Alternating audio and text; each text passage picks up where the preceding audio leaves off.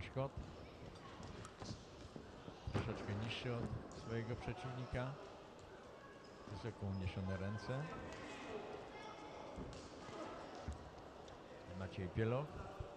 Długi zasięg ramion. Szczupła sylwetka. Będzie tutaj się starał rozwiązać walkę w dystansie. Jednak Tom, Tomek Kot to już naprawdę bardzo utytułowany i doświadczony zawodnik. Silne ciosy na dół. Znajdują uznanie sędziów punktowych 1 do 0. Prowadzi Tomasz Kot.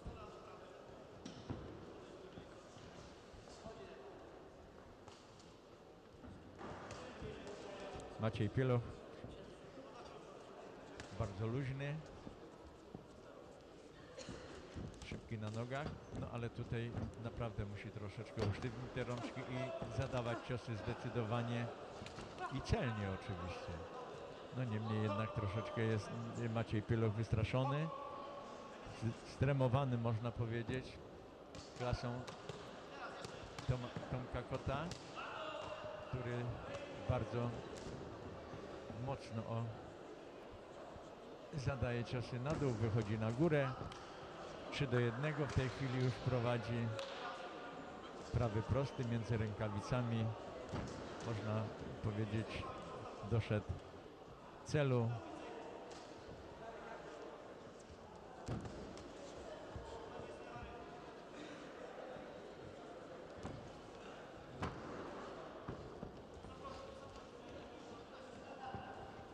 No ja tutaj myślę, że e, naprawdę Polski Związek Bokserski musi stanąć, mówię popularne słowa na głowie, aby, aby zabezpieczyć tej młodzieży godziwe warunki do trenowania, godziwe warunki do podnoszenia swoich y, y, kwalifikacji pięściarskich.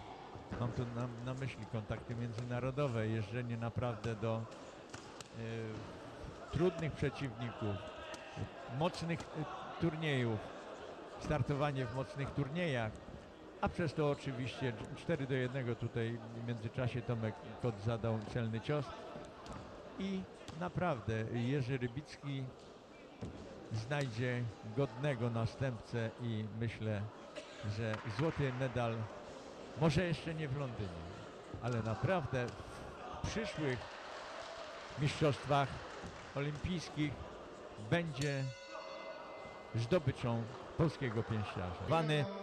Zwany złotym medalem mistrzostw młodzieżowych Polski.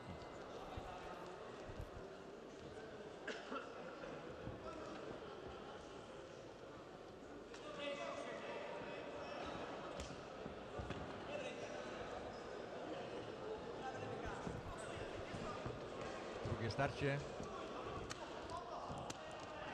No Maciej Pieloch tutaj musi zmienić taktykę tego pojedynku. Nie może czekać, y, bo Tomek y, Kot bezkarnie tutaj zadaje ciosy, które dochodzą celu i sędziowie punktowi jak najbardziej słusznie je punktują. A wyczekiwanie w wykonaniu Macieja Pielocha, no tutaj nic nie da. Ten lewy bardzo anemiczny, taki, prawda, na e, opędzanie się przed muchami. Przepiękny prawy sierpowy na górę w wykonaniu Topka Kota i kolejne ciosy, które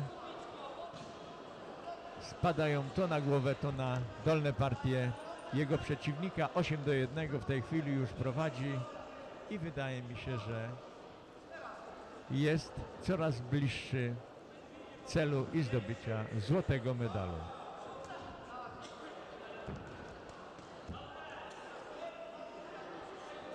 No na pewno tutaj Maciej m, Pieloch jest już szczęśliwy z dotarcia do finału tej imprezy. Pokonał zawodników rozstawionych, czyli tych, którzy, którzy po prostu legitymują się najlepszymi osiągnięciami. Jednym z takich był Tomasz Kot z numerem pierwszym tej kategorii wagowej, ale tutaj Maciej Pieloch na pewno zrobił przede wszystkim sobie niespodziankę, jak również swojemu trenerowi, Zenonowi Kaczorowi. I powiedzmy, z- tutaj z przebiegu tego pojedynku. Jest już szczęśliwy, że ma ten finał i srebrny medal. No niemniej jednak powinien powalczyć o wyższe cele.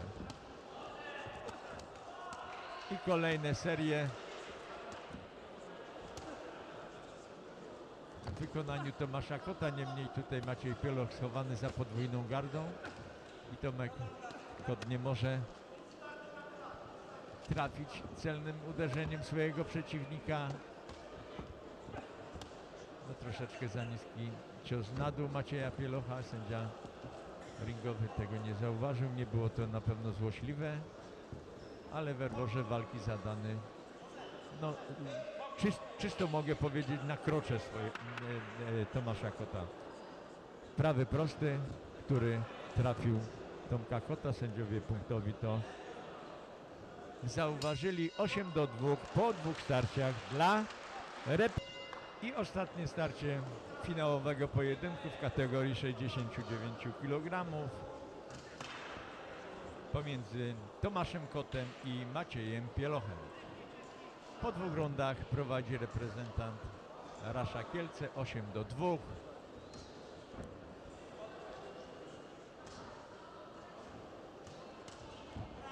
Naprawdę Tomasz Kot prezentuje tutaj bardzo dojrzały boks.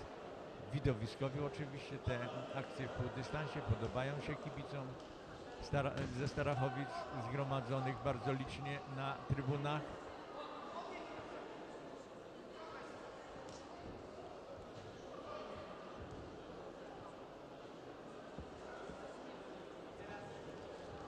No tutaj w tej chwili Tomek Kot prezentuje nam swoje umiejętności taneczne. Ręce opuszczone.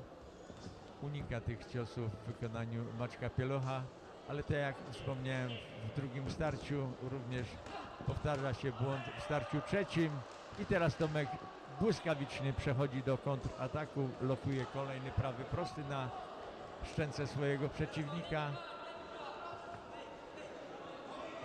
I kolejny balet w wykonaniu Tomka i znów bardzo szybki atak, tym razem bez zdobyczy punktowej.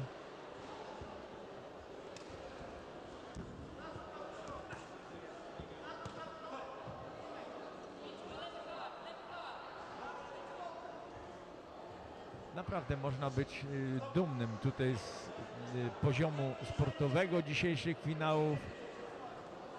Bardzo dobre pojedynki, zacięte.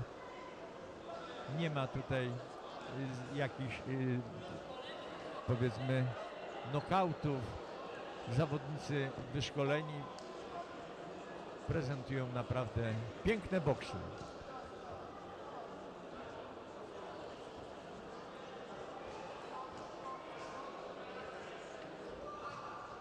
Jeszcze 50 sekund ostatniego starcia tego pojedynku. Tomasz Kot trafia prawym sierpem 10 do 2. I właśnie to jest w tym wszystkim najpiękniejsze, że zawodnik, który prowadzi, zdecydowanie wie o tym, czuje to, nie poprzestaje na tym, atakuje, lokując kolejne ciosy, które oczywiście sędziowie punktowi punktują i do końca chce Tomasz Kot ich zadać jak najwięcej. Ostatnie 10 sekund i jeszcze zryw Tomka Kota. Podwójna garda Pielocha. 11 punkt zadany równo z gongiem. 11. A teraz już oficjalnie. Wygrywając 11 do 2 o wadze 69 kg mistrzem Polski Tomasz Kot Raszkielce. I wielkie brawa, jak najbardziej zasłużone dla Tomasza Kota, który również tutaj pokazał nam piękny boks, piękne układy obydwu. Naprawdę, no aż przyjemnie patrzy się tutaj na te finały. Jest, kibice są zadowoleni z poziomu sportowego, jak również z radości tych młodych zawodników ze zdobytego czy to złotego, czy to srebrnego medalu. I naprawdę wspaniała impreza zarówno pod względem poziomu sportowego, jak również organizacyjnego, bo w sporcie naprawdę